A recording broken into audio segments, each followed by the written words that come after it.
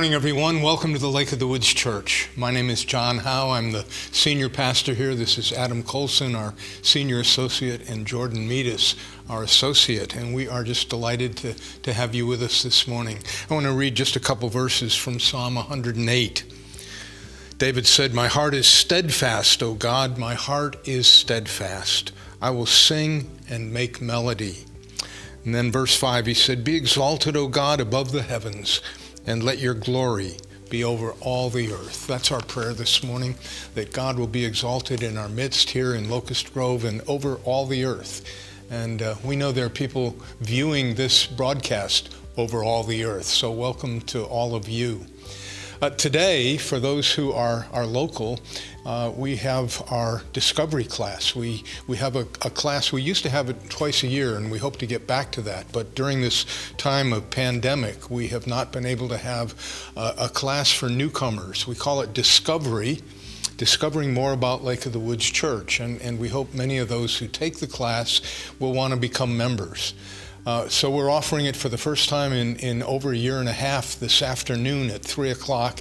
And if you're in the area, it's not too late to sign up. We do need you to sign up. Please uh, send an email to suzanne.lentine, L-E-N-T-I-N-E, at lowchurch.org if you'd like to be part of that class. We're having it in person here in the worship center, and you can also see it online if you'd prefer to do it that way. But, but either way, you need to sign up. Uh, it's not too late. We'd love to have you be part of that this afternoon. Adam, you said that you had a, a, praise report. I'd love to hear it. Yeah, it, has been neat to see what God has been doing uh, in the lives of our, our uh, chaplains, the opportunity He's been giving them to serve, the opportunities He's been giving them to. Um, to even expand out further into our community. Um, we are in the midst of our Chaplain 2 course, and, and uh, already we've had quite a few requests come in to take Chaplain 1 again. And so we're just so thankful to the Lord for that. Do you that. have numbers, how many we have serving and how many have gone through it? Right now we have 12 chaplains mm -hmm. that are actively serving. Um, and our chaplains serve uh, not just over at our free clinic, but we have, a, we have chaplains serving with fire and rescue. We have a chaplain serving with a hospital. We have chaplains serving, uh, preparing to serve with prison ministry. So it's exciting to see the wide range. Tremendous and, I'm working with uh, Pastor Meadis uh, over the next uh, couple months, and we're actually taking Chaplain 1 class, and we're going to film it and take it online so that we can use it through Google Classrooms so that we can continue to offer it. And so if anyone's interested in taking Chaplain 1, uh, they're, they're, I encourage them to reach out to me. Uh, we have an application we'll send them to fill out, and we'd love to get them involved in the chaplain Absolutely. training. Absolutely. It's wonderful, wonderful ministry. Thank you. Thank you. So, right around the corner, Ash Wednesday, and then Lent. Uh, it's impossible to process that. It seems it like we're still in Christmas almost. It, it does, but we, we are preparing for, for Lent season. 10 days away. And so that will begin with Ash Wednesday. We'll have an Ash Wednesday service in the sanctuary at 6 p.m. on February 17th. And then on Wednesdays after that, uh, our own Dr. Howe is uh, delivering a series on the Psalms, Hope in His Word, and that will be on Wednesdays here in the Worship Center at 645. Exactly. Thank you. Um, everybody's familiar with the Psalms. They've been called the church's uh, hymn book. Uh, and we've all used them, but I, probably not a lot of people have really studied the Psalms, the different kinds of Psalms, the structure, the way God uh, has used them down through the ages. So this will be a very brief uh, kind of introduction to the Psalms, and uh, Uh, as Jordan says, that'll be, we'll start with a little worship here, and then the lectures will be at, at 7 o'clock. Subsequent Wednesdays, not, not next Wednesday, that's Ash Wednesday, but then subsequent Wednesdays in Lent. So again, thank you for coming. Welcome.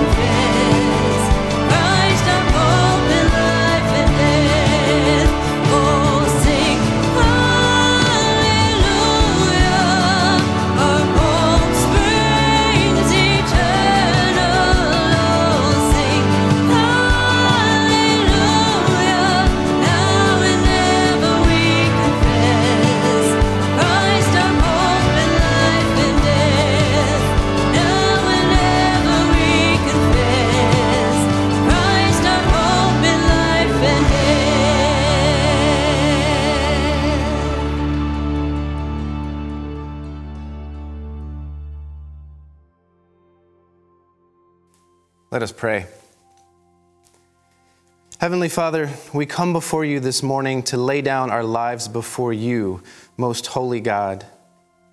There is no holy one like you, Lord, no one besides you. There is no rock like you, our God. Our hearts rejoice in you, Lord. Our strength is exalted in you, our God. You raise up the poor from the dust, lift the needy from the ash heap, and make them sit with princes and inherit a seat of honor. For the pillars of the earth are yours, Lord, and on them you have set the world. You guard the feet of your faithful ones.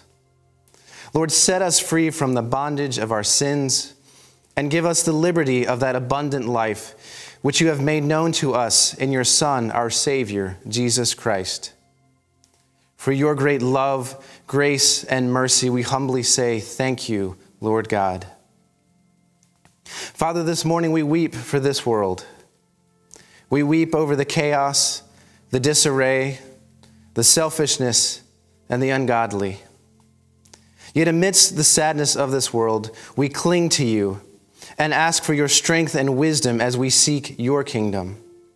We pray for those in leadership, those in Washington in our local areas, our senators, our representatives. Give them a mind like Christ to lead as humble servants. And as we lead in our own sphere of influence, help us to be poor in spirit, mourn as you mourn to be meek and to hunger and thirst for righteousness, as we stand firm knowing that this world is not meant to last forever, and your plan for those who are in Christ is one of everlasting love and peace in your presence. Father, help us to love to love you with all our heart, soul, and mind, and to love our neighbors as ourselves. Our Father and our God, your word reminds us of your special concern for the poor, the homeless, and those facing adversity. We pray for those living under bridges or in makeshift tent villages, and for those who have too little to eat. Bless our ministry to the destitute through our partner, the Thurman Brisben Center, and give them the gift of hope as they learn to put their trust in you. This morning, we thank you, Father, for the part of the body of Christ here at the Lake of the Woods Church. We thank you for your faithful servant, Dr. Howe, his leadership, and his wisdom in opening the riches of your word to us. We thank you for those wishing to be a part of your church here at Lake of the Woods Church through membership. Help us to be the church to each other through service, through ministry, and through prayer. And so now, Lord, we mention the names of those in need of healing, provision, safekeeping, and strength at this time.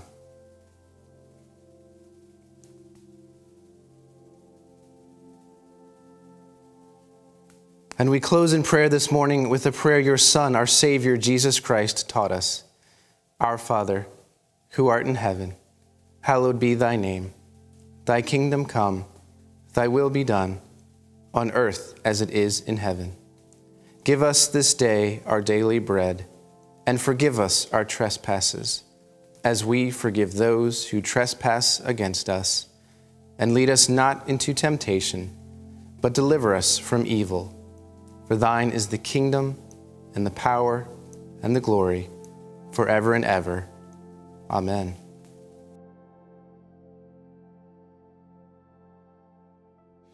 I'm reading from Mark's Gospel, chapter 1, and beginning at verse 29.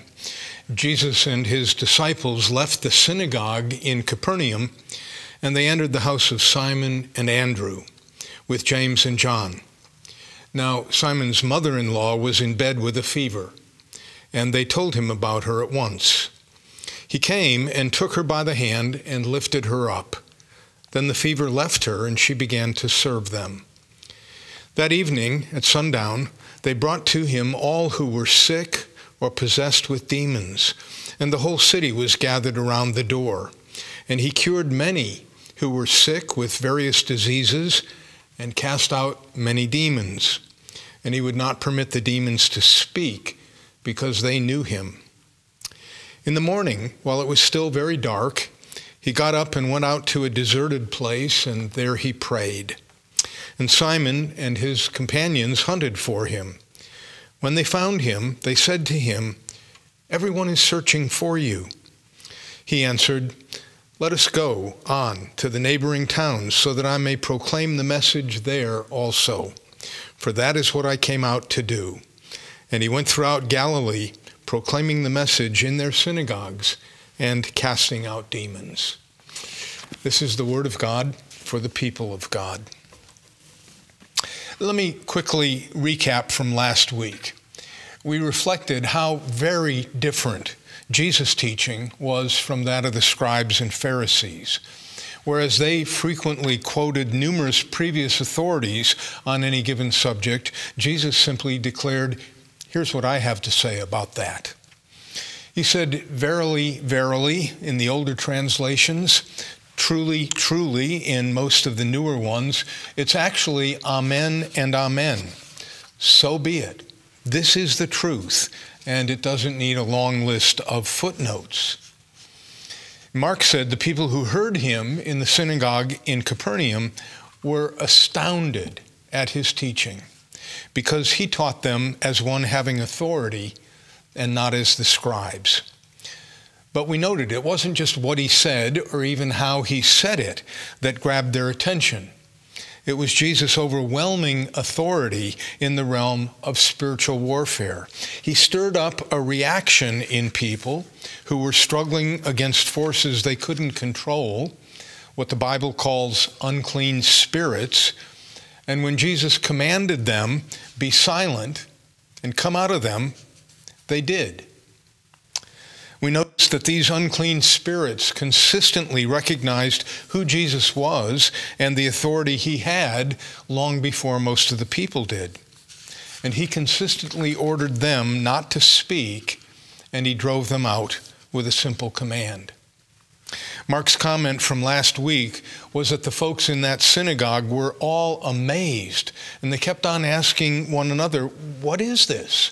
A new teaching with authority. He commands even the unclean spirits, and they obey him. Well, today's episode follows immediately on the heels of that one. Jesus left the synagogue accompanied by the four disciples he had previously called to follow him two sets of brothers, Peter and Andrew. At this point, Peter is still going by the name Simon, and James and John, the sons of Zebedee. They all went to Simon's house where his mother in law lay sick with a fever. Matthew, Mark, and Luke all re- record this story of Jesus healing her, but they tell it slightly differently. Mark says he took her by the hand, lifted her up, and the fever left her. Luke says he rebuked the fever, and it left her. Matthew says he touched her hand, and it left her.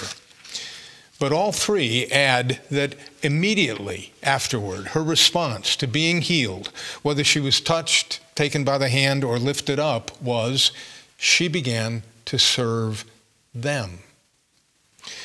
We need to pay attention to that. When Jesus does something wonderful in our lives, it's not just for our own sake, it's so that we might be the conduits of his blessings to others. People who are touched by Jesus are blessed to be a blessing, forgiven so they can forgive, and healed so they can serve. St. Paul said that he had received such favor and blessing from God that he felt a sort of universal obligation to share it with others. That's J.B. Phillips' translation of Romans 1:14, a sort of universal obligation to share it with others. So, by the end of his first chapter, Mark has sketched out for us the threefold ministry Jesus said he came to exercise. He came to preach and prophesy. He was the prophet greater than Moses. He came to set people free from unclean spirits. In the words of Isaiah, to proclaim liberty to the captives and release to the prisoners. And he came to heal the sick. And he said, Let us go to the neighboring towns, for this is what I came to do. I've told you about my father's long battle with multiple sclerosis, which eventually took his life. But I don't think I've ever told you about an incident fairly early in that battle. Dad was virtually paralyzed, and they took him to Hartford Hospital. Karen and I lived fairly close by, and we had gotten to know Peter Marshall Jr., uh, the son of a man called Peter, the chaplain to the United States Senate. Peter Jr. was also a Presbyterian minister, and he was very active in the healing ministry. He prayed for people, and a lot of them got well. I asked him if he'd go with me to visit my dad, and he said he would. When we got there, Peter was very direct. He said to my dad, I believe God wants to heal you, but it's not so you can go back to being the same man you've always been. If he heals you, it's so he can use you in a new way. Peter prayed briefly, and dad went into remission. It wasn't a complete healing, but he was significantly improved for the next several years. And he began a journey that led to his praying the sinner's prayer, asking Jesus to be his Lord, and he finally began studies toward becoming ordained. I had the privilege of tutoring my own father in that regard. But the illness returned and worsened, and as I said, it finally took his life. But in the meantime, he became a new person. Shortly before he, dad, uh, before he died, Dad said to me, I pray every day that God will take away this damnable disease, but it doesn't look like he's going to do that. But I want you to know it's been worth it because I've learned what I should have known all along that I'm absolutely dependent upon him, and now I'm going to spend eternity with him. Did I wish that my father had been returned to the fullness of health? Well, of course. And eventually he was, uh, but not in the way we had hoped. So, did the Lord answer our prayers when Peter and I visited Dad in the hospital? I believe overwhelmingly he did. We had him for a few more years here on earth, but we'll have him forever in heaven. And that's the only cure that lasts indefinitely. I don't know if you've ever thought about it that way. We ask God to heal the sick, and sometimes He does, but it's always temporary. Even the people Jesus raised from the dead eventually died again. This life is not supposed to be the whole story. It's preparation for the life that lasts forever. And what a tragedy it is that some never discover that. The only thing that's permanent is life with God for those who put their trust in Him. 26 healing miracles of Jesus are recorded in detail in the New Testament, in addition to about a dozen passages that say he healed many or all, or the blind and the lame, or those needing to be cured. And the first thing to be noticed is there is absolutely no set pattern as to how he did this. Sometimes he drops what he's doing and goes in person to heal the sick or even the dying, or in several instances, to raise the dead. Other times he simply speaks a word from where he is at the time. In St. John's Gospel, an official begs him, Come down before my little boy dies. And Jesus says, Go, your son will live. It takes the official a full day to get back home, and when he gets there, his servants tell him his son has been cured. When did it happen? He asks. Yesterday, at one in the afternoon, the fever left him. John says the father realized that was the hour. Jesus said, said to him, your son will live. That's in chapter 4, verses 46 to 54. Sometimes Jesus lays hands on the sick person and others not.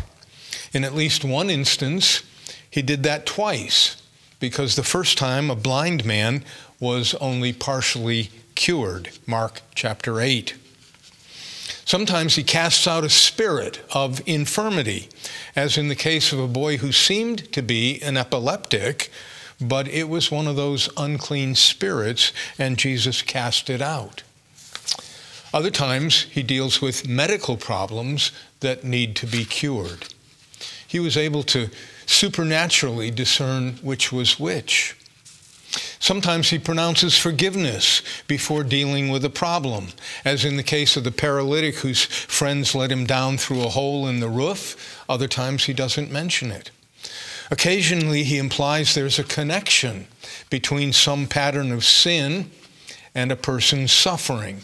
He says to the paralytic at the pool of Bethesda, Do not sin anymore so that nothing worse may happen to you. Other times, he says exactly the opposite. Neither this man nor his parents sinned. He was born blind so that God's works might be revealed in him. Sometimes he says that a person's faith, or that of his father or mother or his friends, was instrumental in effecting a cure, and other times faith isn't mentioned at all. I become hugely suspect when people try to reduce healing to some kind of a formula. And I think some of the people God has gifted with genuine healing ministries sometimes make that mistake. They've seen people get healed when they've prayed for them, and they think they know how it works. Be careful. There is simply no pattern to Jesus' healings. But second, there is a completely consistent picture of Jesus' eagerness to see sick people made well again. In today's passage, not only did Jesus heal Simon's mother in law, it says the whole city was gathered around the door, and he cured many who were sick with various diseases. Matthew says, all. And we didn't read it, but the following paragraph tells of a leper who begged Jesus, If you choose, you can make me clean.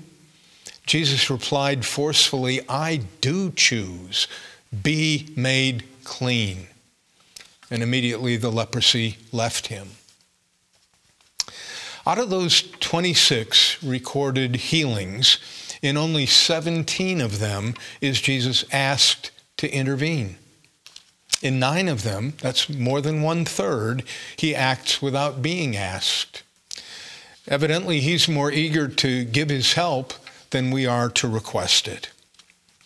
And notice, when Jesus was asked, only once did he show the slightest hesitation about saying yes. In all the other cases, his response was just like the one he gave to the leper I do choose, be healed. We looked at that one instance when he hesitated about four years ago. It's worth taking another look. You'll find it in chapter 15 of Matthew's Gospel, beginning with verse 21. Jesus went to the district of Tyre and Sidon and a Canaanite woman begged him, Have mercy on me, Lord, son of David. My daughter is tormented by a demon. Jesus' initial response seems amazingly harsh and unlike him. I was sent only to the lost sheep of the house of Israel. He seems to be refusing her because she's not a Jew. But the woman kneels down and says, Lord, help me. And Jesus makes it much worse. He says, It is not fair to take the children's food and throw it to the dogs. Wait a minute. Can this be the Savior of the whole world? The one who is called a light to the Gentiles? Jesus is refusing her on the basis of her ethnicity? Is he a racist? Some kind of a Jewish nationalist, and he's calling her a dog? That's a horrible picture. Check out the commentaries. You'll find everything from this woman forced Jesus to change his mind. You find everything from that to she actually taught him more about grace than mercy than he had understood previously. Do you think that's what's happening? One I found particularly obnoxious said, An inclusive, egalitarian woman met an unsophisticated parochial prophet and converted him through her gracious humility. Do you think that's what's happening here? The story ends with the Canaanite woman saying, Yes, Lord, but even the dogs eat the crumbs that fall from their master's table. And Jesus responds, Woman, great is your faith. Let it be done for you as you wish. And her daughter was healed instantly. Matthew 15, verses 21 to 28. There are at least two possible explanations. The first is this was a test, plain and simple. Jesus did that on occasion. Before he multiplied the bread and fish to feed the multitude, he asked Philip, Where are we to buy bread for these people to eat? And John's comment on it was this He said this to test him, for he himself knew what he was going to do. In Jeremiah 9, the Lord God says, I will now refine and test my people. He does that sometimes. If this was a test, the Canaanite woman passed it with flying colors. But the other possibility is that this was a teaching moment aimed not primarily at her, but at Jesus' own disciples. Matthew tells us they were urging him to send her away. And Jesus answered them, not her. Check it out. He answered them. I was sent only to the lost sheep of the house of Israel. Could it be that he was saying, You are telling me to send her away because you think I was sent only to the lost sheep of the house of Israel. You think that healing her daughter would be like throwing the children's food to the dogs. How wrong you are about that. And the woman's response demonstrated that sometimes Gentiles have a more expectant faith than do the children of Israel. In any event, the daughter was healed, just as were the other 25 people whose stories are recorded in the Gospels. So let's go back to Simon's mother in law and notice one more thing. When Matthew tells this same story, he says that evening Jesus cured all who were sick, all who were sick in Capernaum. This was to fulfill what had been spoken through the prophet Isaiah. He took our infirmities and bore our diseases. In other words, Jesus' great work of redemption included reconciliation with God, spiritual liberation, and physical healing. We have no record of him ever turning anyone down. And Scripture says he's the same yesterday, today, and forever. And he doesn't play favorites. So, how shall we think about these things in the middle of a worldwide pandemic? How shall we understand this here at Lake of the Woods Church, where at any given moment we have a lengthy prayer list, friends and neighbors struggling with various diseases? Is Jesus still in the healing business? Are these promises still true? I think there are at least five things that need to be said. Number one, no, we're not told of Jesus ever refusing anyone, but we are told that when he went back to his own hometown, he could do no mighty works there because of their unbelief. Mark says he did lay hands on a few sick people and he healed them, but he wanted to do much more, and he was amazed at their unbelief. Blatant skepticism there was hugely hindering factor. It will be among us as well. Number two, I've heard people say, if God wants everyone to be well, why isn't everyone well? You know, there are actually a lot of things that God wants to do that don't happen.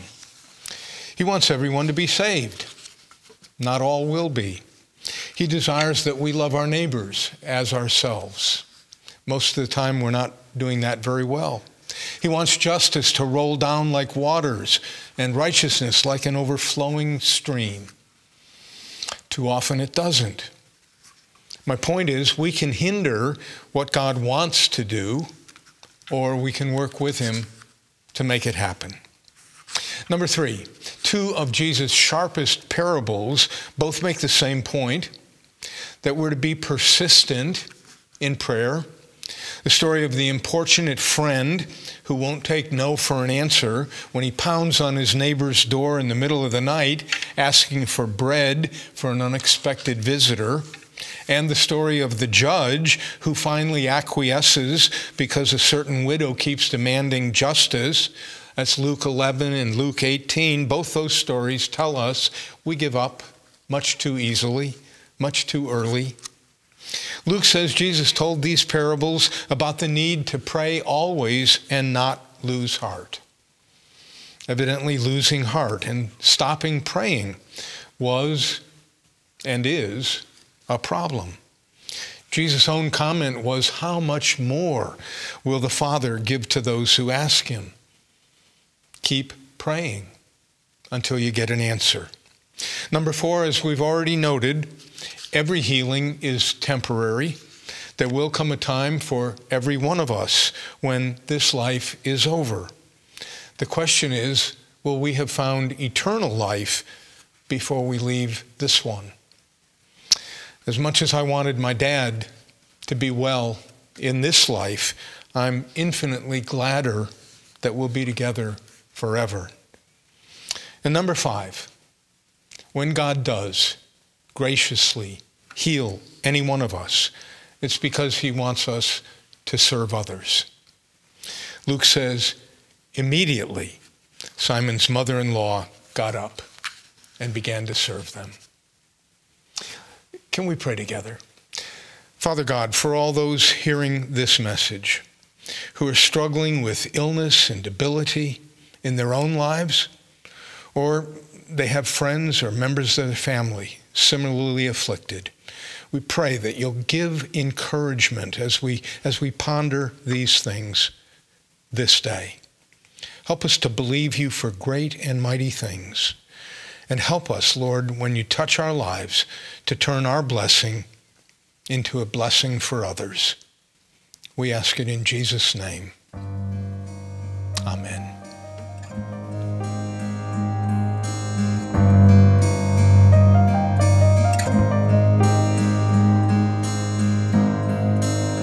Walking around these walls,